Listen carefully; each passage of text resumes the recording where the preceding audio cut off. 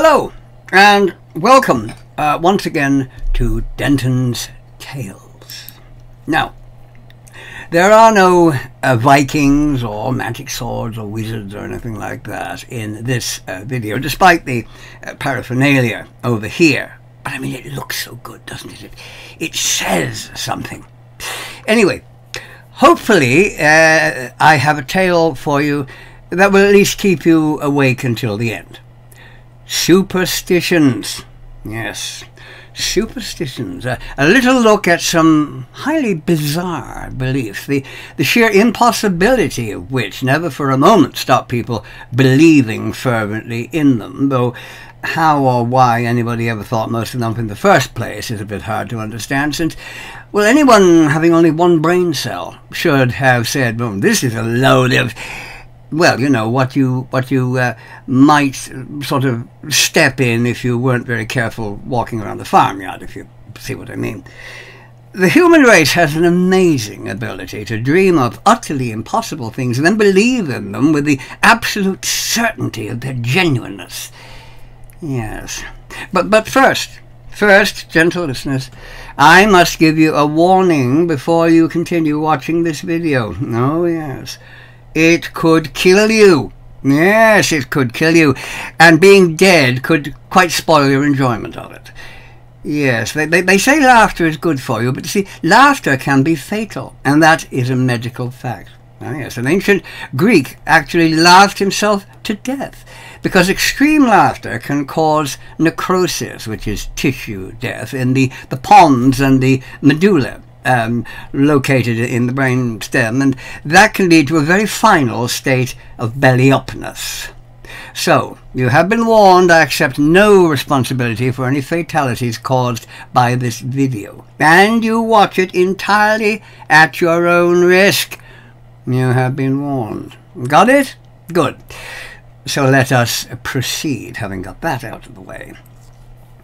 The dictionary, uh, the dictionary definition of superstition, said he, trying to get his mouth working properly, is religious belief or practice considered to be irrational, unfounded, or based on fear or ignorance. Excessively credulous belief in and reverence for the supernatural, and a, a widely held but irrational belief in supernatural influences, especially as leading to good or bad luck, or a practice based on such a belief. So, given that, anyone of average intelligence shouldn't really believe a word of it, right? Oh, but they do. Oh, yes, they certainly do, as we shall see. Some ideas, of course, are obvious uh, as to why people might believe in them. A few do make some sense. Well, fear of fire, for example. But others are so completely devoid of even a grain of basic intelligence that one has to wonder how anyone ever came up with the idea and why anyone else believed in it. It shows that despite our getting to the moon and solving incredibly complex equations, making great discoveries and all that, that basically Human beings can be really dumb. Oh, yes, and when I say dumb, I mean dumb taken to incredible lengths. Some superstitions can even have two completely differing ideas associated with them, such as why a black cat is a harbinger of doom and despair, the very symbol of bad luck on one side of the Atlantic Ocean. Ah, shoot, a gol darn black cat and it done crossed my path. God darn it, that's today's screwed, so help me, Jimmy Johnson. And you kick it, scoring a, a field goal with the cat. Well, on the other side of the Atlantic, it is a symbol of good luck. You give a picture of a black cat to someone to wish them good fortune. And if one walks past you, well, the reaction is totally different. Oh, I say, a jolly old black cat. How absolutely spiffing, what? I think I'll do the lottery. Today is my lucky day and you rub it while it entwines itself around your ankles, rubs its wet nose on you, or in the case of a cat I have, drools on you. You know, does does the Atlantic Ocean have some magic power over black cats? You take one from east to west, and it becomes a dreaded bearer of evil omens. Beware the evilness of the black cat. But take it from take it from west to east, you know, and it brings happy tidings, joy, and gladdery. Oh, tra la la la la, joy be unconfined. It's a black cat. Yes, what was that I said about the human race being really dumb? Of course, what the colour of a cat has to do with luck, good or bad, is rather hard to understand, but since most superstitions do not have a lick of sense in them, I suppose that doesn't really matter very much. Or why, why is a disembodied rabbit's foot seen as the bringer of good luck? No, it didn't do very much for the rabbit, did it? I'm sure if you asked the bunny hopping around on three legs for his opinion on the good fortune-bearing qualities of his foot, he'd tell you to shove it where the sun don't shine. And why just a rabbit's foot? I mean, why not whack the foot off a hamster or a guinea pig, a mouse, or, well, any other small furry animal and go around with that? What's so special about rabbits? To avoid bad luck in Argentina, you touch your left testicle. Now, probably wise to counter ill fortune in that manner indoors, otherwise it might not go down well with El Policía Nacional. But uh, should you, for some reason, be missing that particular bit of your anatomy, well, you could touch your left breast. Yes. Just remember to ask permission first if you're using somebody else's breast. Or again, you may come to the notice of the authorities, and your attempt to avoid bad luck will fail miserably. There's no good luck apparently on the right hand side, so it seems also to apply only to men, which I think is very misogynistic, really. Do Argentinian women just have to accept their misfortune, or do they grab their own breast, or perhaps ask a friend for a, a lend of the, well, the required item? If you're very friendly with that friend, of course, but I really have no answer uh, for that. Also in Argentina, it is thought that seventh sons may turn into werewolves unless they are adopted by the president. Yes. Well, well, I mean, it's so obvious, isn't it? I mean, anyone could have could have thought of that. yes. Staying in South America. In Brazil, leaving your wallet on the ground is said to attract money. I would think it's rather more likely to cost you money when somebody grabs it and runs away with it very quickly, but yes. But a, a foolproof way to ensure good luck if you happen to live in Serbia is to get someone to spill water behind you. Yes, it works every time. Yeah, yeah, of course it does. Obvious, isn't it? Anyway, breaking a glass gets you a year's bad luck, but breaking a mirror, oh, that will result in seven years of bad luck. Why seven, not five or nine or some other number? Well, well, seven, like three, has always been seen as a, a magic number for, for some reason. As to the actual breaking of the mirror, tradition held that mirrors weren't just, you know, providers of the reflections of one's image, but held a part of our souls as well. Mirrors need to be covered up after a death, for example, to prevent the souls of the departed from being trapped in them, and also because it was thought that the dead person could be seen in them. Yes. The Russians believe that breaking mirrors is a gateway for evil entities to enter the world, because by breaking a mirror you may release evil spirits. Mm-hmm. Not to be outdone by the Russians, the Swiss say that whoever is the first to look into a broken mirror is going to die. So if you smash a mirror, be very careful not to look into any of the bits as you sweep them off. Well, well, that's you done for. So don't look! Avert your eyes, look away, or you're doomed. Doomed, I tell you, yes, doomed. You can count on the knowledge of the Swiss. Oh, yes. Anyone who can make cheese that consists almost entirely of holes with no cheese in them, lovely blocks of, of holes held together with bits of cheese, well, they must know something.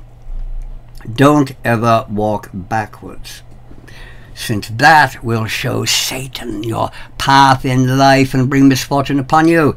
At least so they believe in Portugal. Well, now, now there is some truth in that superstition, since walking backwards means you will probably trip over something, regardless of whether or not Satan actually notices your reversed uh, direction. You will certainly notice the ground when you hit it. Magpies. Ah, yes, magpies. In Britain, it's unlucky to see just one magpie. And you must say, Good morning, Mr. Magpie, and how is your lady wife today, to show him respect. And the suggestion that there are two of them, well, that hopefully will bring joy rather than for, uh, sorrow, as the, the famous rhyme that would indicate. Mm, yes, but what if it's a female magpie, uh, magpie, not, not a lesbian one that might have a wife? I don't know. You know, nor if you can actually tell the difference between them sex-wise. I mean, magpie sexing isn't a topic of burning interest to the general public, I should think, and really all magpies look exactly the same to me.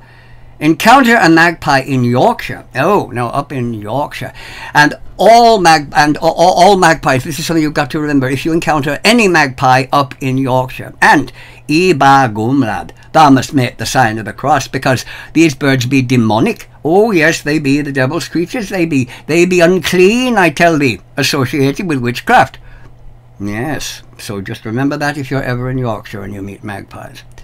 Other things you can do to ward off the evil influence of a magpie is to doff your hat, well, if of course you happen to be wearing one, and spit three times over your shoulder. Mm, some, something like that, as you wave your arms up and down and caw to imitate the bird's missing mate. Caw, caw, caw. Assuming, of course, that it has a mate and the mate is actually missing, and how you're supposed to know that, I really don't know. I've I've no idea, since a magpie with a missing mate will probably look exactly like a magpie whose mate isn't missing. What do you do if it doesn't have a mate and they aren't missing and you don't have a hat to doff, well, I've no idea as to that either. When I was young, every man wore a hat, but these days you see a man wearing a hat and you win a prize. And what about women? You know, what do they doff? Or, or do, does magpie bad luck only affect men who may have a hat to doff. Mm. And if you follow the prescribed ritual for, you know, protecting yourself, you will probably be arrested as drunk and disorderly as you stand there flapping your arms up and down and cawing away, you know, or, or even committed for psychiatric examination. But, but at least, at least you will have you will have missed the anger of the magpie and drawn down its evil influence on yourself. So you will have saved yourself from its feathered wrath by your cawing and fapping, and you can comfort yourself as you sit in the padded cell. Uh, yes. Meeting the nice people in white coats who will look after you so very, very well. They understand all these things, you see. The rhyme is, uh, of course, one for sorrow, two for joy, three for a girl, four for a boy, five for silver, six for gold, and seven a secret never to be told. Some versions probably go all the way up to 20. Uh, but not just magpies go by numbers. No, no, crows do also. And seeing five crows, oh, that means sickness will follow. And if you see six, no, I'm very sorry for you, dear. I mean, settle your affairs, make up your will, and prepare for the end, ducky, because you're going to snuff it. Belly up, brown bread, in other words, dead. That's your lot. Well, don't, don't blame me, no, the crows. Oh, the crows know these things. Yes, the crows know.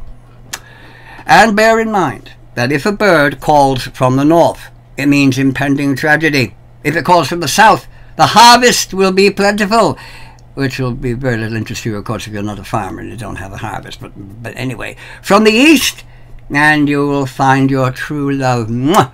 While from the west, um, well, from the west, that indicates good luck is on the way. So be be prepared. All you need to determine your destiny is a compass.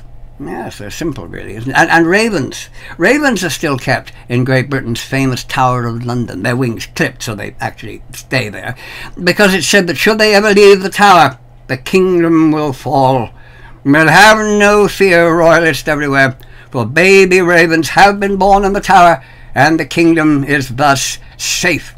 His Britannic Majesty, King Charles III, can rest assured that the nation is secure and protected by the ravens. Yes, your majesty, have no fear, for the ravens hold the tower.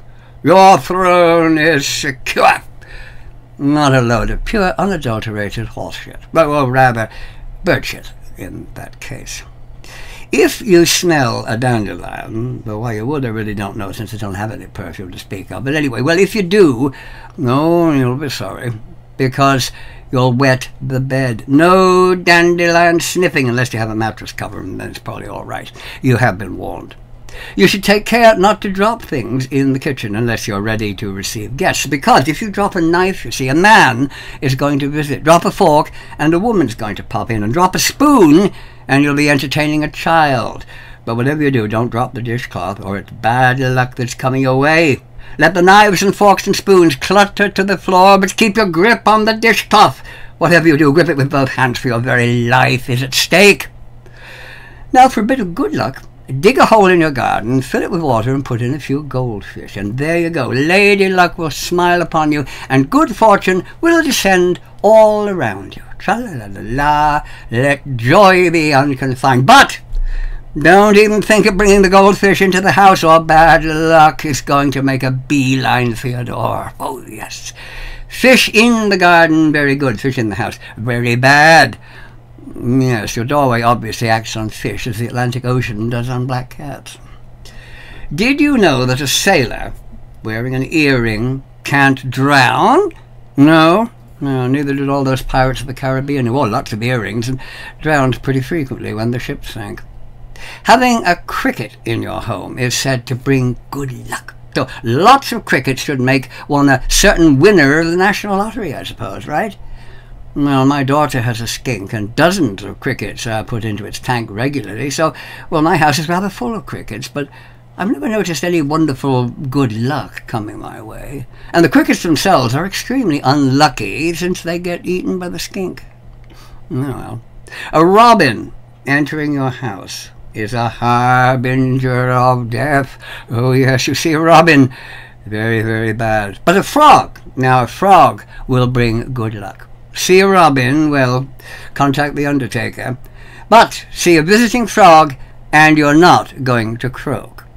Sorry, I just couldn't resist that one. it's bad luck to sleep on the table. At last, at last, a superstition that makes perfect sense because it may fall off the bloody thing. Why would you want to sleep on a table, of course, seems a little bit hard to understand, though I have known uh, people doing it.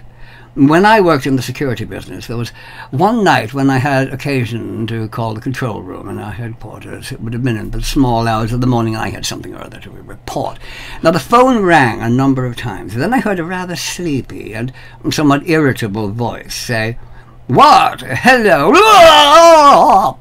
Followed by some rather obscene expletives, and there was a loud crash like somebody had just dropped a pile of bricks several more muttered expletives, which I will not repeat here, and finally the controller got on the phone. What the expletive removed for the sake of decency. Do you want? he said. Now I knew he wasn't pleased to have received my call. I'm very perceptive, you know, things like that. I just fell off the another expletive removed. Desk, he said.